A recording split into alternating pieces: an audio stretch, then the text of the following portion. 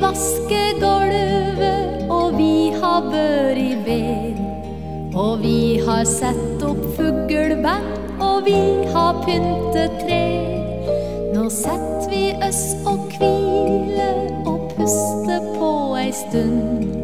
Imens jeg rugger våga, så bror din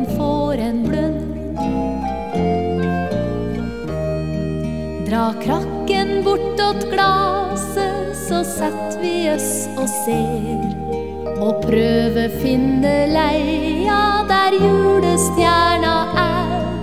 Den blankeste ta alle, hun er så klar og stor.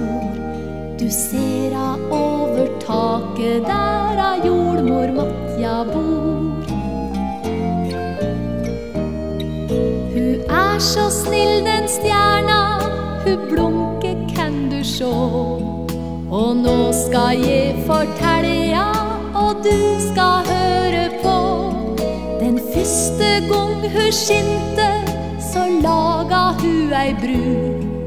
Imilla seg og himmelen og ei krybbe og ei ku. I krybba låg en liten gutt, så frisk og rein og god. Og mor hans dreiv og stelte og far hans sto og lo. Og gjetergutta der omkring, dom kute til og frå. Og bar med seg små lamunger som gutten skulle